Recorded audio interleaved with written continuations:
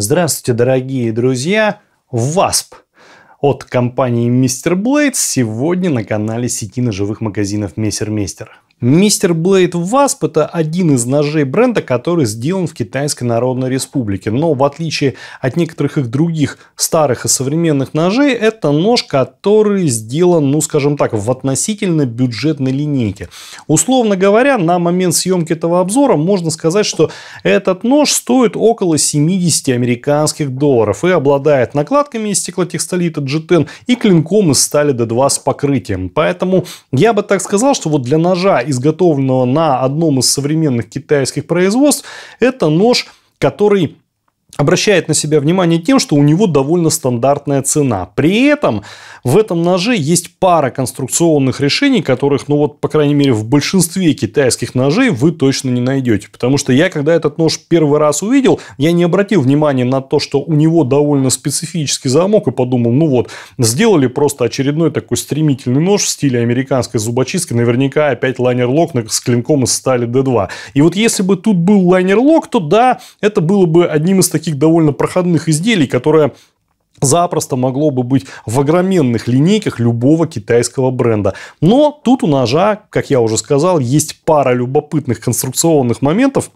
которые выделяют на общем фоне огромного количества ножей, произведенных в Китайской Народной Республике за примерно вот такие же деньги. Нож этот, насколько я понимаю, на данный момент, когда снимается обзор, выпускается с двумя цветами накладок из стеклотекстолита G10. Но вот у меня в данном случае в руках такой вот относительно светлый, я бы сказал, серо-кремовый такой оттенок. Очень приятно выглядит на самом деле. Мне лично показалось, что это гораздо интереснее аналогичного ножа, у которого данные накладки сделаны черного цвета. Тут Тут хочу обратить внимание, что эти накладки не плоские, они вот такие вот несколько, ну так скажем, выпуклые наружу с насечкой 3D.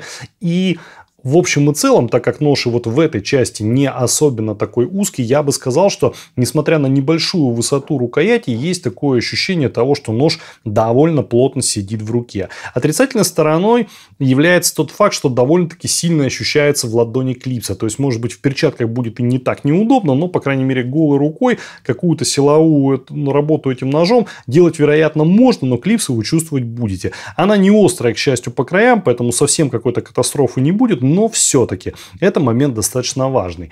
Нож имеет сквозную конструкцию, и обратите внимание, что оба лайнера, на основе которых сделана его рукоять, совершенно не облегчены. Единственное, что там есть, это с обеих сторон небольшая прорезь, которая обеспечивает работу замка. Ну, об этом мы чуть дальше поговорим.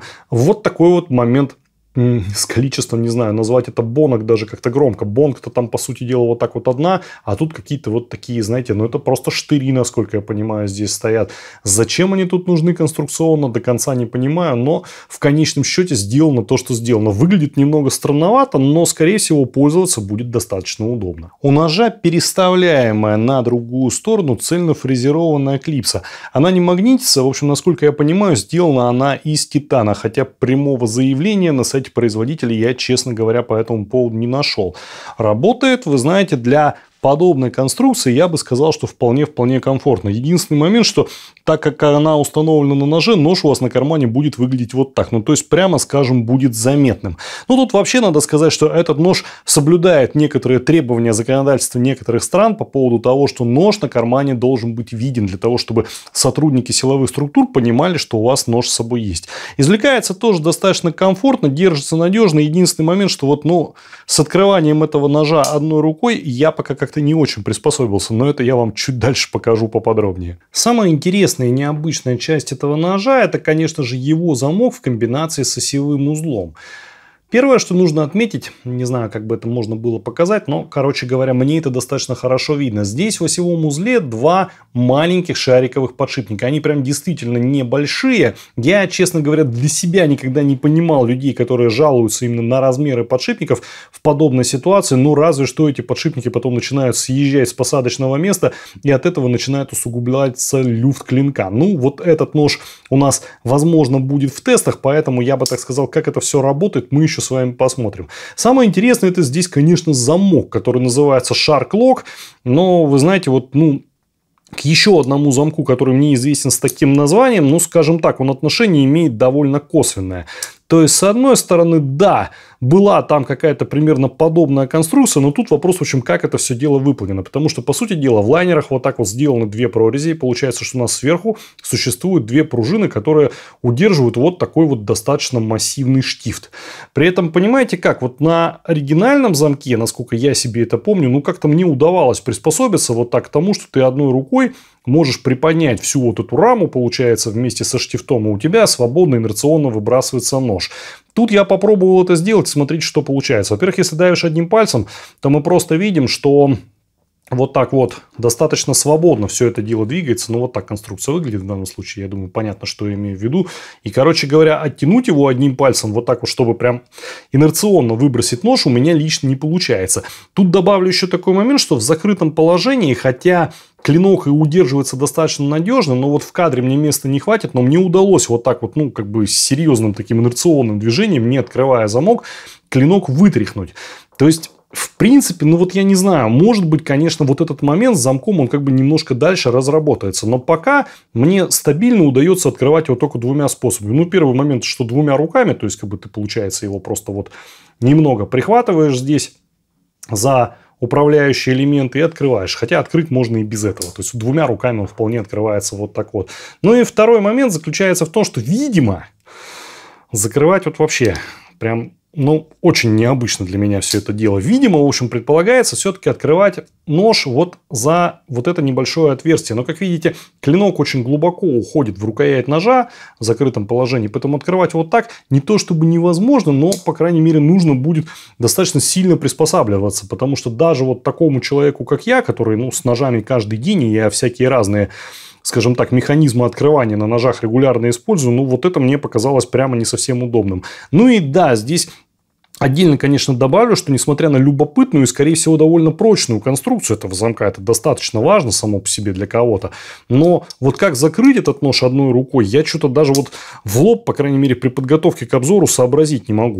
В тесте обязательно попробую, если будем его тестировать, но вот так скажу, что это элемент ножа сколь любопытный, столь и такой неоднозначный с точки зрения удобства его эксплуатации. Но, впрочем, я думаю, что найдутся люди, которые под этим роликом напишут мне, как бы они открывали и, главное, закрывали нож с подобным замком. Потому что, ну вот, скажем так, мне просто иногда кажется, что я чего-то не понимаю. При этом скажу, что вот когда нож открыт, здесь есть вот этот микролюфт, который есть и там на каком-нибудь колстиловском замке, насколько я вот это помню, с такой же вот примерно рамой, как бы там просто по-другому было исполнено, но все равно. То есть, люфт, вот этот вот такое пощелкивание есть. Это, конечно же, не тот люфт, который хоть как-нибудь может мешать вам работать, но, тем не менее, я бы так сказал, что ну, нельзя от этого замка словить вот такое ощущение, что люфта прям нет ну совсем и никакого и нисколько. Это вообще не тот случай.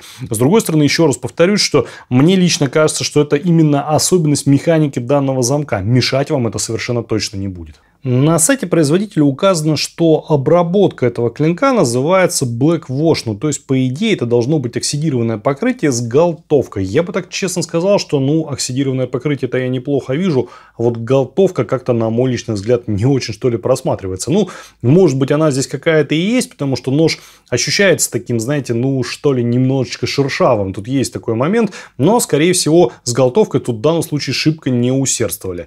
Клинок ножа, как я уже говорил, сделан из стали D2. И здесь, пожалуй, наверное, самое интересное в этом клинке это тот факт, что ну вот он такой стремительный. У него отличная такая геометрия. При не очень высоких спусках она ощущается такой достаточно режущей. Но здесь надо учитывать, что у ножа, прямо скажем, не самый тонкий обух.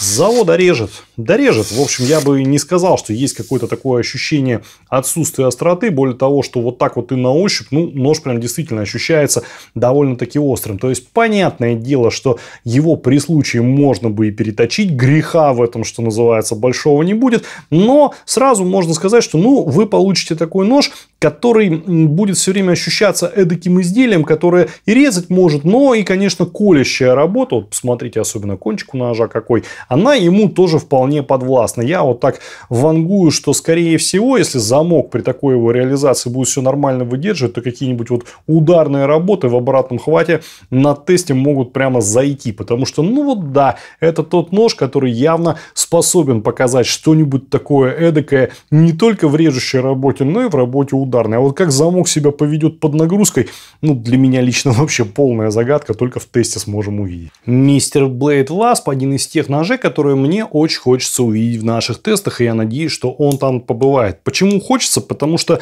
откровенно говоря, тестировать постоянно повторяющиеся замки с одинаковыми лайнер-локами или там ботом-локами от китайских производителей, ну, мне уже как-то что ли несколько приелось. А вот тут, учитывая, что это замок, который вообще достаточно редко встречается, и плюс, ну, такое понятное, скажем так, качество изготовления в Китайской Народной Республике, я бы сказал, что любопытно, как вот все это дело поведет себя в наших тестах. Кроме того, почему еще любопытно? Потому что я бы так сказал, что несмотря на то, что это все несколько не в моем вкусе, но вот подобный абрис ножа мне совершенно четко понятно, что имеет своих любителей. И да, это нож такой стремительный, интересный, то есть очень многие люди, особенно, знаете, ну, скажем так, да меня за такой кивок, ну, скажем так, близкие к начинающим нажиманам, которые еще как-то иногда думают о том, что нож это все-таки как бы еще и где-то там немножечко оружие, а не только режущий инструмент, будут явно довольны, подержав такой нож в руках, потому что, ну, есть от него вот это вот ощущение, что, знаете, хочется им там и что-нибудь поработать, ну и как бы вот как садануть им там куда-нибудь и посмотреть, что от этого будет,